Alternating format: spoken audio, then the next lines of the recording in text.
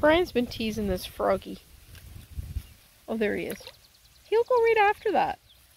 He thinks it's prey. He's been doing this for a while. he jumps right at it. Now he's getting patted. Big bullfrog. Now he knows it's not food. Look at him bowing his head. Go ahead, pet me. Go ahead and pet me. That was cool though. He bit at it and bit at it and grabbed it and he had that stuff in his mouth. I'll give him a little one. Oh, okay.